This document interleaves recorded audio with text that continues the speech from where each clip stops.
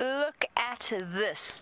We've got the massive male crocodile of apparently what's called cul-de-sac crossing.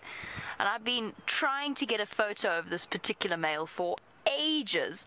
Usually you find, and we've spoken about this before, that each and every crossing point or at sort of various stretches along the river, you've got a massive male crocodile that holds a territory. And he lives quite contentedly, for the most part, in the company of the pod of hippos that inhabit this particular part of the Mara River as well. Oh, there we go. Hippos and crocodiles. What a thing those poor wildebeest have to face. The one thing that is in their to their advantage this year, having seen the footage, obviously I've this is the first time I've ever been here, but having seen the footage from last year and seen footage of the Mara River in the past and of wildebeest crossings, it seems as though the river is much, much emptier than it was before.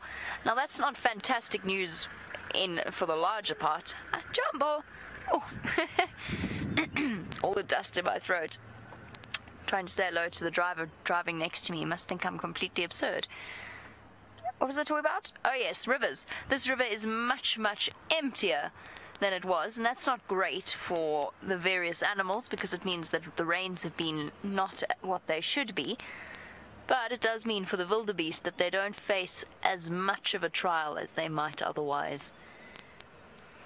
Now, this is very close to where we saw the cheetah, and unfortunately, apparently she has moved off. But we're just going to bumble around here and see whether or not we have any luck with finding her. Hi.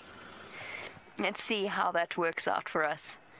But there you go. I need to get a shot of that crocodile as well, a photograph, so that we can look at identifying marks, any missing scales. But those of you who are out there, you can help me by sharing screenshots on hashtag Safari Live on Twitter.